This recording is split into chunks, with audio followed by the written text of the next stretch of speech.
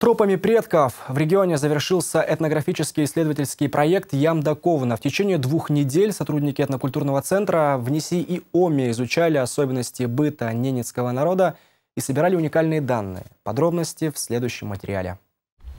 Ому и Несь члены экспедиции выбрали не случайно. Ведь это село с более чем вековой историей, где строго соблюдаются традиции.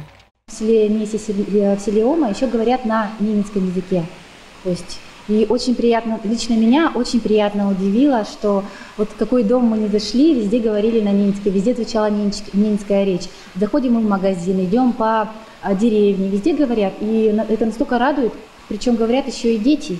По словам руководителя экспедиции Александры Фоминой, коренные жители доброжелательно встретили сотрудников центра. В общей сложности удалось опросить 27 носителей языка. Например, в селе Ома было изучено более 15 предметов семейных реликвий.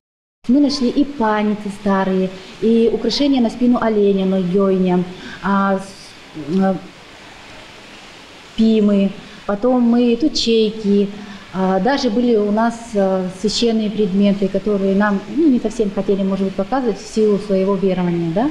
А вот до сих пор люди до сих пор верят э, в силу этих предметов и боятся, боятся показывать. Зато знаниями фольклора жители не сиделились охотно.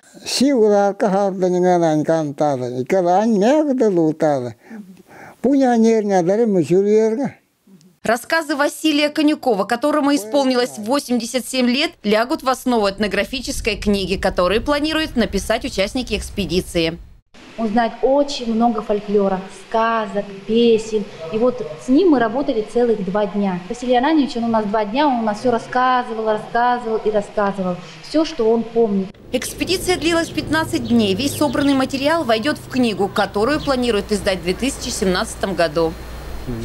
Любовь Пермякова, Дмитрий Лукевич, телеканал «Север».